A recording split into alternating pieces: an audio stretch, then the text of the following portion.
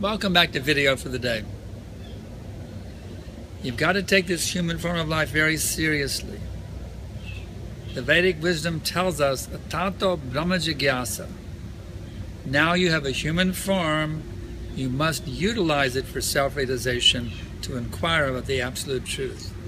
We've gone through 8 million different species of life before we got to this human form.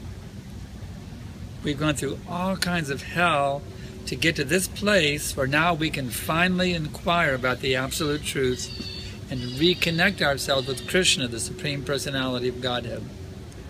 So kindly take full advantage of this human life. Take shelter of a bona fide spiritual master. Get initiated by the bona fide spiritual master.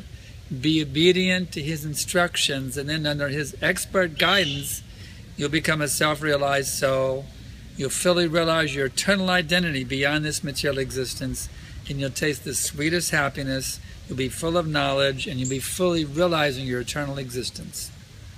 Thanks so much for tuning in. Hare Krishna. Thank